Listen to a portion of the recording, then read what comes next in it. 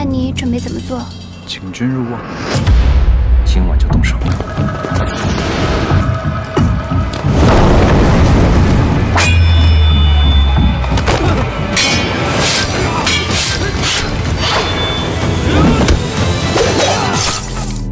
昨夜在登闻古院审了一夜，此人是个硬骨头，十八般刑具都用上了，就是不肯交出他的同党。